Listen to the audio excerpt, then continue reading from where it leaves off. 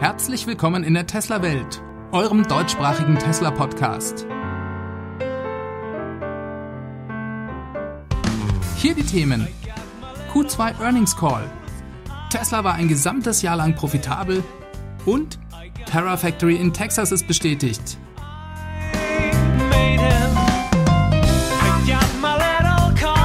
Mein Name ist David und dies ist die Folge 127.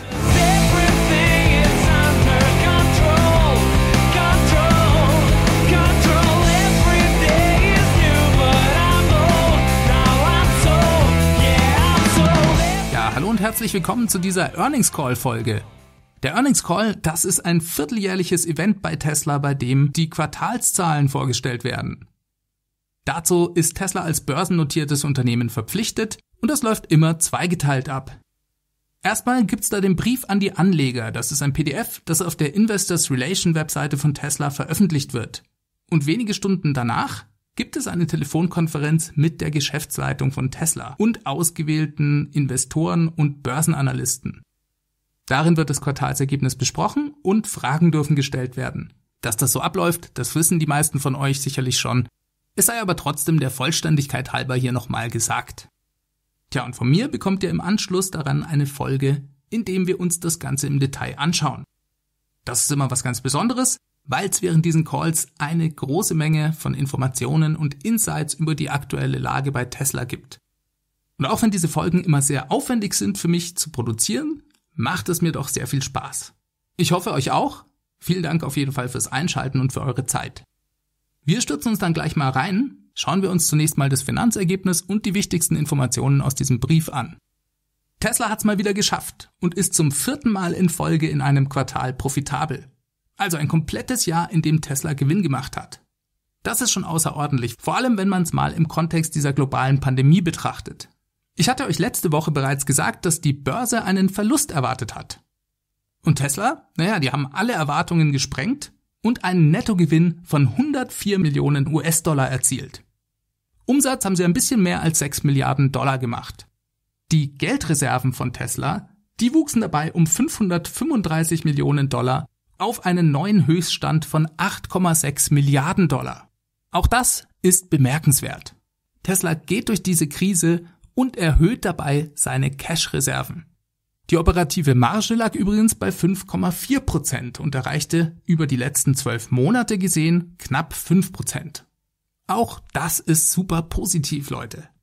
Der sogenannte freie Cashflow, das ist das, was übrig bleibt, wenn man vom operativen Cashflow die Investitionen abzieht, der lag bei 418 Millionen Dollar. Ja, und ich wiederhole mich, auch das ist bemerkenswert, wenn man bedenkt, dass dies erreicht werden konnte, obwohl ja das Werk in Fremont fast das halbe Quartal geschlossen war. Die Kosten, die durch die Werksschließung verursacht wurden, die konnten weitgehend durch eine Reduzierung der Ausgaben ausgeglichen werden, schreibt Tesla. Insgesamt sieht Tesla der zweiten Jahreshälfte positiv entgegen. Der Ausbau der Produktion, vor allem beim Model Y und auch beim Model 3 in China, schreitet weiter voran. Zum Umsatz schreibt Tesla, dass dieser im Vergleich zum letzten Quartal sich nicht großartig verändert habe, obwohl man ja mehr Fahrzeuge lieferte. Dies liege vor allem daran, dass der durchschnittliche Verkaufspreis pro Fahrzeug ja weiter sinke. Naja, und dann kamen krisenbedingt auch noch weniger Umsatz aus den Bereichen Service und dem Supercharger-Netzwerk mit ins Spiel. Der operative Gewinn konnte jedoch gesteigert werden. Das wurde unter anderem durch eine Senkung der operativen Kosten erreicht. Es wurden ja krisenbedingt temporär eine ganze Menge Mitarbeiter beurlaubt. Dann gab es positive Effekte wie zum Beispiel ein erneutes Ansteigen der sogenannten Regulatory Credits. Ihr wisst schon, das ist im Prinzip ein ähnliches System wie der CO2-Zertifikatehandel. Tesla erhält dadurch, dass sie emissionsfreie Fahrzeuge bauen, sogenannte Credits und kann diese an andere Automobilhersteller weiterverkaufen. Diese ersparen sich dadurch Strafzahlungen, die sie bekommen, weil sie eben keine Elektroautos bauen.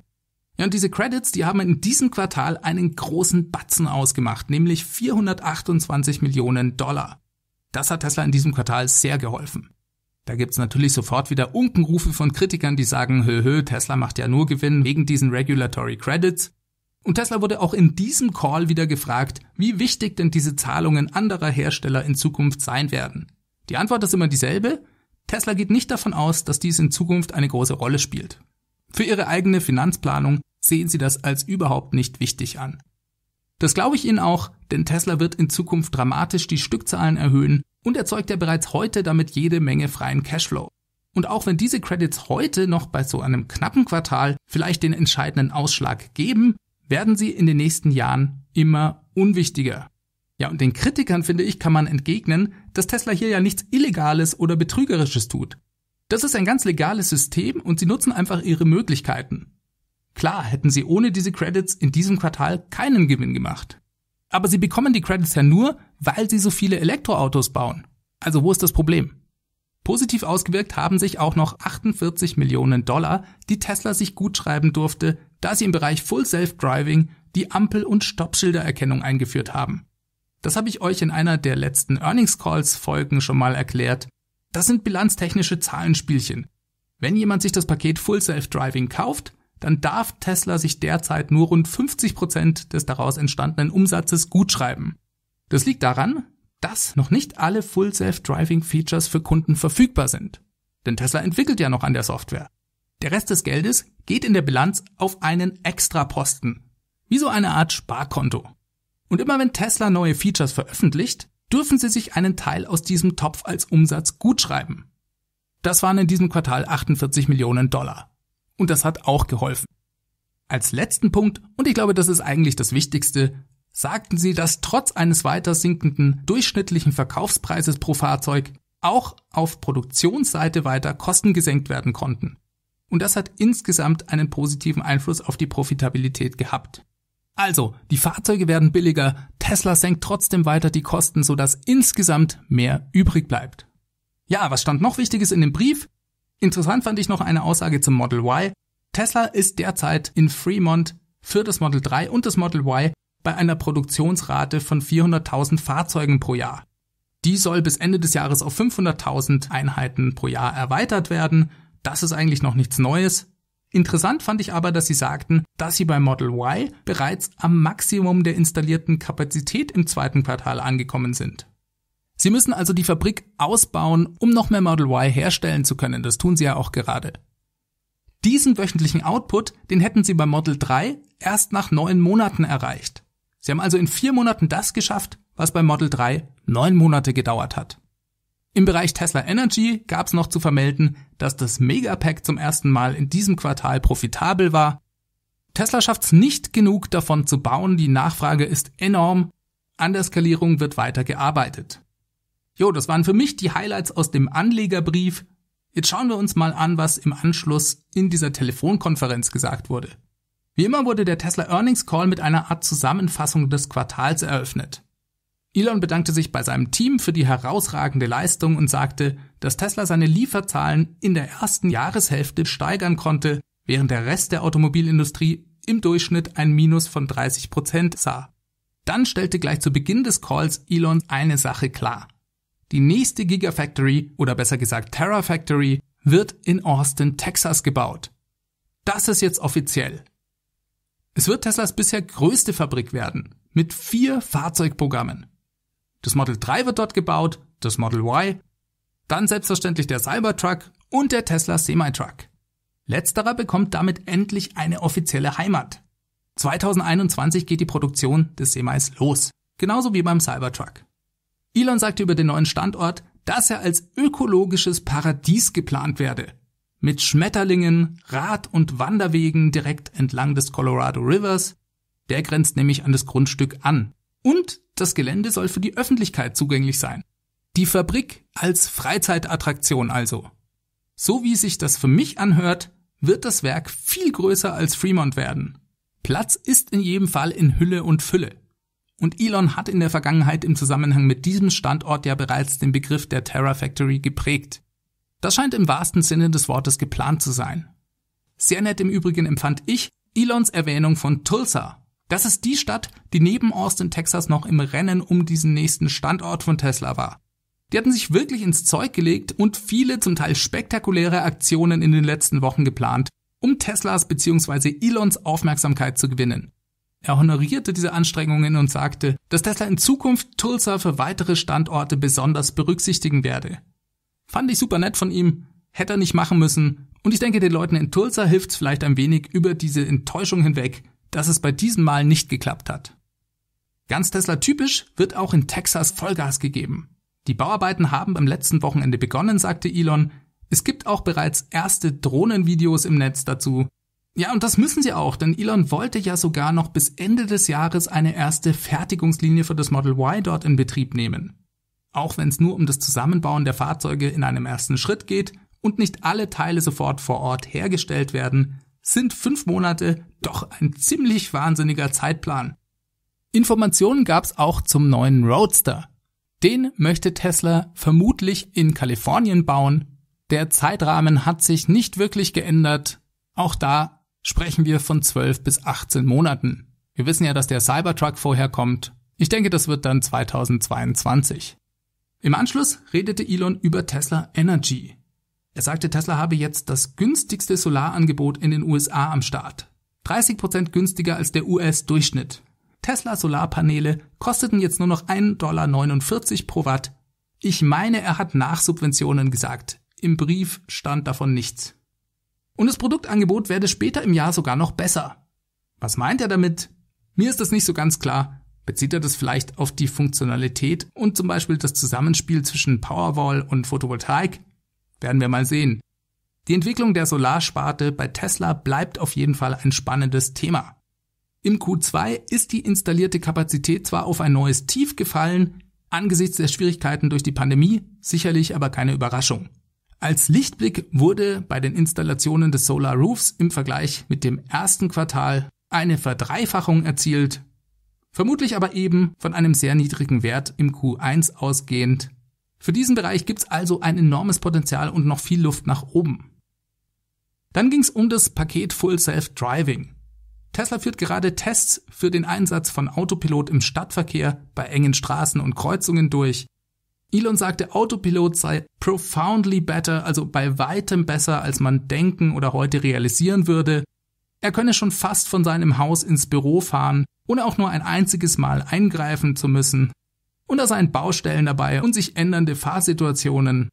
Das wäre auch der Grund, warum er zuversichtlich ist, dass alle technischen Voraussetzungen für das volle autonome Fahren bis Ende des Jahres erfüllt sein werden. Er fasste das zweite Quartal dann nochmal zusammen. Es ist das erste Mal, dass Tesla über vier Quartale, also ein ganzes Jahr lang profitabel ist. Eine Riesenleistung des Teams. In den nächsten 12 bis 18 Monaten werde man drei neue Fabriken haben. Da musste ich ehrlich gesagt kurz stutzen, denn was meint er denn damit? Kommt da vielleicht noch ein weiterer Standort hinzu? Ja, aber ich denke, er meint mit den drei Standorten Texas, Berlin und die Erweiterung der Gigafactory Shanghai um die Model Y Produktion, denn die ist größenmäßig wie eine zweite Gigafactory in Shanghai. Und er hat für mich ein bisschen zu selbstverständlich von dieser Zahl 3 gesprochen. Würde Tesla noch eine weitere Fabrik, zum Beispiel in Asien, in diesen 12 bis 18 monatigen Zeitraum bauen wollen, dann hätte er sich, glaube ich, ein bisschen anders ausgedrückt. Und er hat ja auch nur gesagt, dass sie in diesem Zeitrahmen drei neue Fabriken haben werden, also fertig haben werden. Ist ja nicht ausgeschlossen, dass sie im selben Zeitraum unter Umständen noch weitere ankündigen könnten. Naja, auf jeden Fall habe ich das so verstanden. Ich kann mich natürlich auch täuschen. Über den Battery Day sagte Elon in seiner Zusammenfassung, es werde die Leute überraschen, wie viel es da zu sehen gebe. Auch das fand ich interessant. Er war ja auch sehr darauf erpicht, dass dieses Event nicht nur als Online-Event stattfindet. Ihm ist es wichtig, dass die Leute physisch seine Präsentation erleben können. Naja, und das deutet für mich umso mehr darauf hin, dass Tesla einerseits viele verschiedene Themen am Battery Day zeigen möchte, aber dass es unter Umständen auch sehr beeindruckend sein wird, zum Beispiel die erwartete eigene Produktionslinie für die Batteriezellen live zu erleben. Denn, das wissen wir alle, es gibt Dinge, die kommen auf einem Video einfach nicht gleich rüber. Und für Elon ist die Produktion, also das Manufacturing an und für sich, das entscheidende Thema bei Tesla. Darin sieht er langfristig den wichtigsten Wettbewerbsvorteil, den Tesla zukünftig haben wird. Es sind nicht die Produkte, sondern die Kapazität, diese effizient und kostengünstig herzustellen. The machine that makes the machine. Das ist das eigentliche Produkt bei Tesla. Gefragt nach der Produktionskapazität der neuen Gigafactory in Texas, da wollte Elon nicht so richtig mit der Sprache rausrücken. Er nannte hier keine Zahl, sondern sagte lediglich, dass es sich um das bisher größte Grundstück für einen Tesla-Standort handle. Das sagt, glaube ich, auch schon alles. Diese Tesla-Fabrik wird gigantisch. Ist, glaube ich, auch nicht verwunderlich. Tesla wird dort das Model 3, das Model Y, den Tesla Cybertruck und den Semi-Truck produzieren. Kommen wir mal zu den Fragen, zumindest zu den interessanteren. Die erste Frage, die von den Kleinanlegern über die Plattform Say.com gestellt wurde, bezog sich auf Tesla Energy. Wie groß wird der Bereich von Tesla Energy in Zukunft wirklich? Und wie disruptiv ist die Software Autobidder? Autobidder, das wissen die meisten von euch schon, das ist Tesla Software, die derzeit im Zusammenspiel mit den B2B Storage Produkten, also dem Powerpack und dem Megapack eingesetzt wird. Ja, und die Software, die sorgt dafür, dass der gespeicherte Strom möglichst sinnvoll wieder abgegeben wird. Sinnvoll bedeutet hier, mit dem Ziel, zum Beispiel Lastspitzen im Stromnetz auszugleichen, aber auch gleichzeitig möglichst gewinnbringend für den Betreiber den Strom abzugeben. Zu dem ersten Teil der Frage nach der Größe sagte Elon, dass er schon öfters in der Vergangenheit betont habe, dass dieser Geschäftsbereich in Zukunft mindestens genauso groß werde wie der Automobilbereich. Das müsse er auch, denn Tesla wolle ja den Übergang zur nachhaltigen Energie beschleunigen und da reicht es eben nicht alleine, viele elektrische Autos zu bauen, sondern die Themen Energiegewinnung und Speicherung sind mindestens genauso wichtig. Und aus diesem Grund müssen letztere Bereiche zwangsläufig riesig werden. Dann meldete sich noch Drew Berglino, das ist der CTO von Tesla, zu Wort. Er sagte, Autobidder sei im Prinzip Autopilot für Energiespeicher. Den Vergleich fand ich gut und interessanterweise sprach er hier vom Megapack, Powerpack und Powerwall im selben Atemzug. Autobidder wird im Moment nur im B2B-Bereich eingesetzt. Für die professionellen Storage-Produkte bei Tesla. Ich würde mich überhaupt nicht wundern, wenn wir hier schon bald auch von Autobidder im Privatkundenbereich, also im Zusammenhang mit der Powerwall und vielleicht sogar mit Vehicle to Grid hören werden. Denn Elon sagte ganz klar, Autobidder funktioniere im Prinzip mit allen Speicherlösungen von Tesla. Also mit dem Megapack, dem Powerpack und der Powerwall. Und theoretisch sogar mit Produkten anderer Hersteller, also Third-Party Solutions. Und Drew Berglino, der fügte hinzu, ja, das funktioniere mit zentralen und dezentralen Speichern. Da kommt also in Zukunft sicher noch was auf uns zu und ich finde das super spannend. Elon sagte dann noch, die eigentliche Limitierung des Wachstums bei Tesla sei die Zellproduktion zu einem erschwinglichen Preis. Darüber werde es am Battery Day gehen. Und da könne jeder einzelne Bestandteil der gesamten Supply Chain, also vom Abbau der Rohstoffe in den Minen bis hin zur Herstellung von Anode oder Kathode, ein limitierender Faktor sein. Tesla werde seine Kooperationen mit Panasonic, LG Chem, CATL weiter ausbauen und den ganzen Rest gibt es dann am Battery Day. Zitat Ende.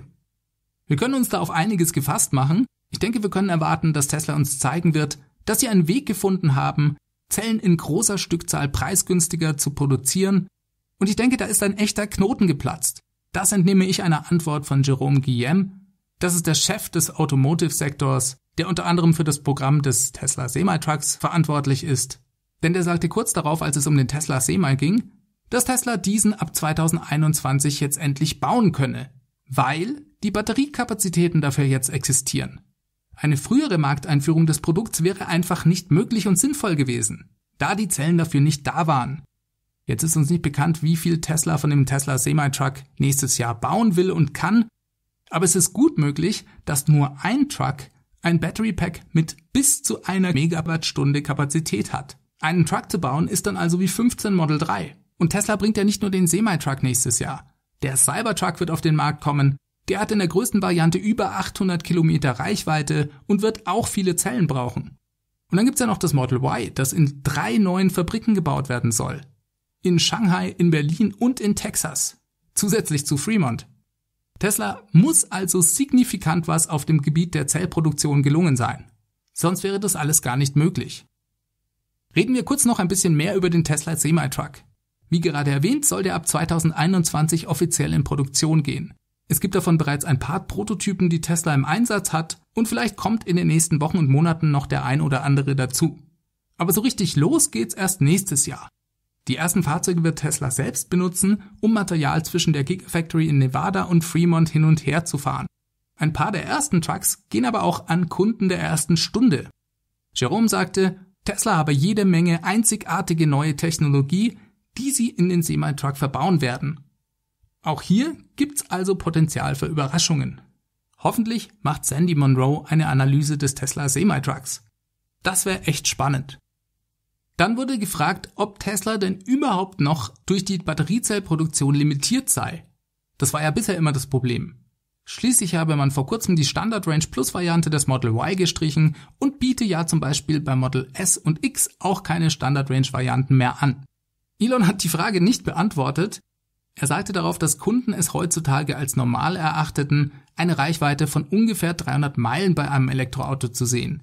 Das sei die neue Norm, daher gäbe es jetzt einen neuen Anspruch bei Tesla, keine Fahrzeuge mehr mit weniger als 300 Meilen Reichweite zu bauen. Diese Aussage, die finde ich schon sehr interessant, denn das heißt eben auch, dass Tesla das ab jetzt kann. Und ich spekuliere darauf, dass sie nicht nur einfach die Produktion skalieren und durch immer mehr Output mehr Zellen zur Verfügung haben, sondern ich denke mir, das könnte ein Indiz dafür sein, dass bei Tesla eine neue Batteriezellchemie ins Haus steht, die eine deutlich höhere Energiedichte mit sich bringt. So ganz kann ich mir zwar noch nicht vorstellen, dass sie bereits so weit sind und so stark skalieren können, um die neue Technologie direkt ab dem Battery Day in die Produktionslinien für den Massenmarkt, also das Model 3 und das Model Y einbauen zu können, aber hey, wer weiß das schon? Das wäre für mich die ultimative Bombe, wenn sie das erreicht hätten. Und dann würde mich brennend interessieren, wie sich das auf das Standard Range Plus Model 3 auswirkt. Verschwindet das aus dem Portfolio? Wie bei Model Y oder bei Model S? Bekommt das vielleicht 10 oder 20 Prozent mehr Reichweite einfach so? Oder verbaut Tesla darin zukünftig weniger Zellen und die Reichweite bleibt so wie sie ist? Tesla könnte das Standard Range Plus Model 3 ja als den günstigsten Einstieg in die Tesla-Welt behalten. Tja, liebe Freunde, die Zeit wird's zeigen. Es war auf jeden Fall mal wieder ein super spannender Earnings Call. Ich hoffe, ich habe nichts vergessen, sonst reiche ich das euch nächste Woche nochmal nach. Ach ja, eine Hörerfrage habe ich noch. Die kam vom Christian, der schrieb mir, in einer der letzten Podcast-Folgen hast du über eine Möglichkeit beim Model Y geredet, nachträglich eine Anhängerkupplung nachzurüsten dann müsste es ja eventuell auch eine Anhängerkupplung für das Model 3 geben. Also nachrüstbar, meinte er, glaube ich. Ja, lieber Chris, da muss ich dich leider enttäuschen. Soweit ich weiß, ist das nicht möglich. Von Tesla aus gibt's hier keine Nachrüstung für das Model 3. Man könnte natürlich eine Aftermarket-Anhängerkupplung verbauen lassen. Tesla rät davon aber ab, denn man hat unter Umständen Probleme mit den Steuergeräten und damit Kosten. Das wird natürlich auch nicht von der Garantie abgedeckt. Also tut mir leid, dass ich da keine besseren News für dich hab. Ich hoffe, es war trotzdem hilfreich. Ja, damit kommen wir diese Woche zum Ende. Diese Folge wurde euch mit freundlicher Unterstützung des Tesla Owners Clubs Helvetia präsentiert. Wie immer vielen Dank an alle Leute, die diesen Podcast bereits unterstützen. Wenn er euch so gut gefällt, dass ihr das gerne tun möchtet, seid ihr herzlich dazu eingeladen. Ich freue mich da riesig drüber, wenn jemand das macht. Dazu gibt's verschiedene Möglichkeiten. Einmal findet ihr auf www.teslawelt.de meine Crowdfunding-Plattform. Alternativ geht auch PayPal über die feedback at teslawelt.de. Was aber auch echt hilft, ist, wenn ihr den Podcast auf eurer Podcast-App bewertet. Am besten auf Apple Podcast oder iTunes. Schreibt mir einfach einen Kommentar, denn dadurch wird er im Ranking gepusht und die Leute finden ihn leichter. Ja, und wenn ihr euch einen Tesla kauft, könnt ihr selbstverständlich auch gerne meinen Tesla Referral Code benutzen. Der Link dazu ist ts.la slash david 63148 wenn ihr Fragen habt oder Beiträge, dann schickt mir einfach eine E-Mail an feedback@teslawelt.de wie der Chris. Das ist eine super Möglichkeit hier mitzumachen. Das geht auch per Sprachnachricht. Einfach mit dem Handy aufnehmen und auch an die E-Mail-Adresse schicken. Oder ihr ruft die Tesla Welt Hotline an. Das ist die 0211 9763 2363. Ja, bleibt mir euch eine gute Woche zu wünschen. Bleibt bitte alle gesund. Macht es ganz gut. Bis zum nächsten Mittwoch. Ciao, ciao.